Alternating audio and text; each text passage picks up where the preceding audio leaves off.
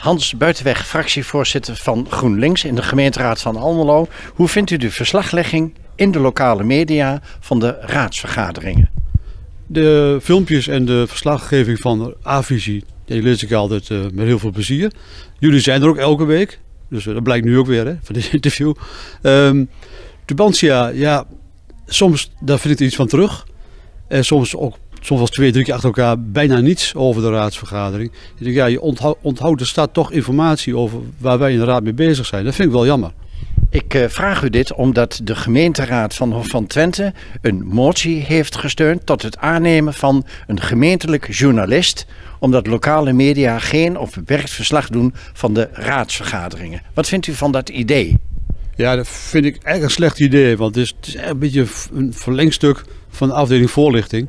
En ja, ik heb er wel een stuk over gelezen in de krant. En, en ze, ze, zeggen dat dat gewoon toch een vrij, vrij uh, hoe heet die journalist het vrijheid heeft om te schrijven wat hij wil. Maar ik denk toch, ja, wiens brood men eet, wiens woord men spreekt.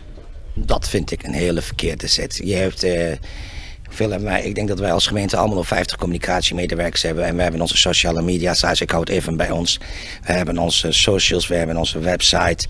Ik denk dat je niet een krantje moet publiceren. Maar je hebt uh, als gemeente je eigen middelen. Je gaat niet een journalist inhuren om over jouw verslag te geven. Ja, ik, ik vind dat eigenlijk uh, raar, want dan is hij in dienst van de raad. En dan uh, kan je hem, zou hem dus op kunnen dragen om uh, positief over het een of, of negatief over het andere te schrijven. En, ja, en als het je niet bevalt als raad, ontsla je hem weer. Dat schiet natuurlijk niet op. Het is een beetje het keuren van je, van je eigen vlees. de journalisten zijn buiten het gebouw, buiten de gemeente en die mogen kritisch kijken, vragen en doen. Want daarmee uh, wordt de legitimiteit van de democratie vergroot. En je hoeft er niet altijd mee eens te zijn. Je kunt er zelfs op tegen zijn. Dat mag allemaal. Om een voorbeeld te noemen, uh, kijk ik hier naar de uh, gemeente Almelo. Um, als je voor de laatste keer de Partij van de Arbeid wil zien staan in de Tubantia, dan moet je een heel eind terug. Maar dat zijn nou een keer zo, want dat zijn ook de uitingen die de lokale pers kiest. En zij ziet toe op de democratie. En wat zij daarover schrijft, schrijft zij daarover. Kan er dan volgens jou nog sprake zijn van onafhankelijke journalistiek?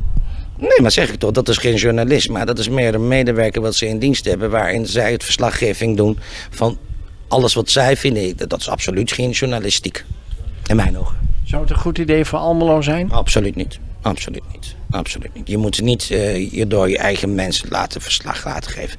Dat is, dat is niet gezond. Daar geloof ik niet in. Ik moet heel leuk zeggen dat ik uh, lokaal, um, de lokale radiozender uh, A-visie heel objectief vind en ook heel veel aandacht en tijd eraan besteed om dat zo goed mogelijk te doen. En ook mijn complimenten daarvoor. in Twente zien we ook wel eens, maar dat volg ik wel, maar daar zie ik eigenlijk niet zoveel van terug als ik heel eerlijk ben. Dus wat dat betreft zijn mijn complimenten eigenlijk hoofdzakelijk voor jullie bedoeld. Dus u bent deels tevreden en ook deels ontevreden over de verslaglegging van de lokale media. Ja, het zou wat meer, meer kunnen. Wat meer uh, erover doorschrijven, door, uh, inhoudelijk. Wat meer, uh, meer diepgang. Dat mis ik.